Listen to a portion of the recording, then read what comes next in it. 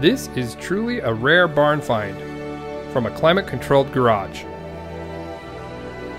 One of only 13 cars known as the 1000 Series Shelby AC Cobra that qualify as proper continuations of the famous 427 Cobras from the mid 60s.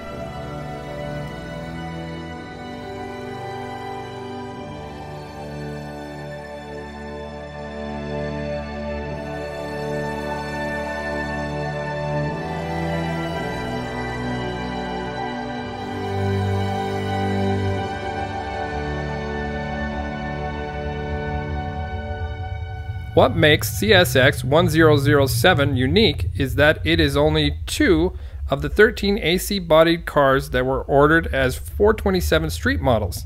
This fact has been verified by Gary Patterson, the CEO of Shelby Automobiles.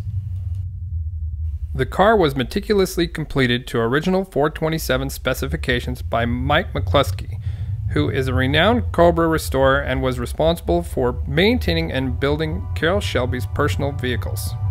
The engine is a genuine 427 side oiler.